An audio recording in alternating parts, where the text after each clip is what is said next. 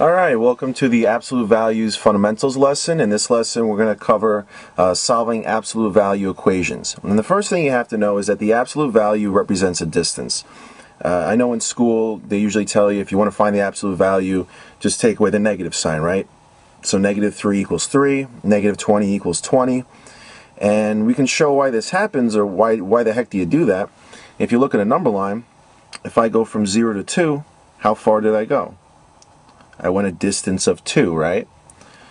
If I go from 0 to negative 2, how far did I go? Well, even though you went to negative 2, you still want a distance of 2. So that's all absolute value is doing there. You're just measuring a distance. So let's do some equations here. And the first thing we're going to work on is absolute values with the equal sign. These tend to be the easier ones. So let's let me go through how you set this up. We have the absolute value of 5x minus 2 is equal to 13. So here's what you're going to do on test day to solve these. You're going to set up two separate sides here. And the first thing you're going to do is write it over again. This is what I call our positive version. We're just writing the thing, just writing the equation over again. The second one, when we rewrite it, we're going to set it equal to the negative number. Okay? That's going to be our negative version. And now you're just going to treat this like an equation and you're going to solve. So we'll add 2, and we'll go through the whole thing here. 5x is equal to 15. We'll divide by 5, and we get x, yeah, you can still see that. x is equal to 3. So we solve for the for this side. Let's solve for the other one. We'll add the 2. We'll add the 2. We get 5x is equal to negative 11. We'll divide by 5. And we get x is equal to negative 11 fifths. So there are your two solutions. And that's all you're going to do when you get an absolute value with an equal sign. You're going to set you're going to do your positive version and you're going to do your negative version. Set it equal to the negative number. Let's do another one. Okay. So now we have 2 times the absolute value of 3y plus 1 is equal to 20. First thing I'm going to do, I'm going to get rid of this 2. I don't like that 2 hanging out over there. Get rid of that. So now I have the absolute value of 3y plus 1 is equal to 10. And we're, good, we're just going to set it up the same way I just did. Two separate sides. We rewrite the equation as it is. And then we do it and set it equal to the negative number. Right? And now let's solve. Minus 1, minus 1. 3y is equal to 9. Divide by 3. Divide by 3 and we get y is equal to 3. Let's do the other one. Minus 1, minus 1. 3y equals negative 11. Divide by 3. y equals negative 11 thirds. And again, there are your two solutions, and you can plug them back in if you want just to check that they work, but they will work. Okay, so now we know how to solve absolute values when there's an equal sign. Uh, let's talk about, let me just set up the paper here. Let's talk about when we have those other symbols like the greater than, less than, and all that stuff. So absolute values are greater than, less than, all those signs. One key thing to remember, when you divide or multiply by a negative number, you have to flip the sign. That's really, really important. So let me take you through one here to show you it's slightly different than when you have the, uh, the equal sign. These are going to be slightly different problems. So you're going to set it up the same way though. Your two sides. And we'll do 6x plus 2 is greater than 4. We just rewrote it. But this time, you have to flip the sign because you're doing the negative number. Okay? So you're going to flip the sign. And now you're just going to solve. Minus 2, minus 2. 6x is greater than 2. Divide by 6 and we get x is greater than, and I'll just put a third, I'll simplify.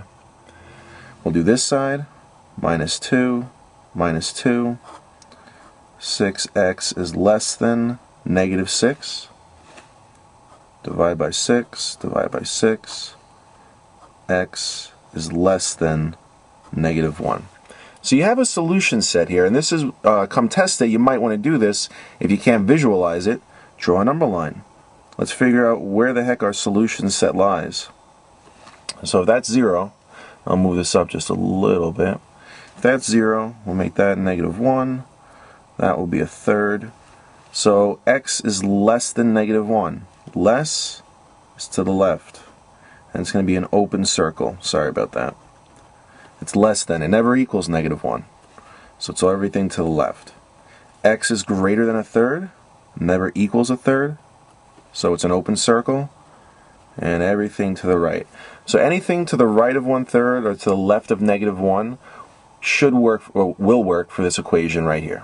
It will satisfy that absolute value equation or the, the inequality. Um, okay, let's do another one. And this one's slightly harder, so this was a good one to finish on for the fundamentals lesson. We're going to separate it out like that, same way we've been doing. Write it again. Negative 2y plus 6 is less than or equal to 18. And then we'll do negative 2y plus 6. And we have to flip the sign because we're doing the negative number. Okay. Let's solve. We get negative 2y is less than or equal to 12. Here's where we just got to remember our rule. We're dividing by a negative number, that negative 2. So what happens? We have to flip the sign. Okay? We had to flip that sign over. Let's solve this one. Minus the 6, minus the 6. Negative 2y is greater than or equal to negative 24. Okay? Now again, we're dividing by negative 2. we got to flip the sign. So y is going to be less than or equal to uh, 12. Okay. So now what we're going to do is, if you can't visualize it, again, draw a number line, and let's see where this solution set is.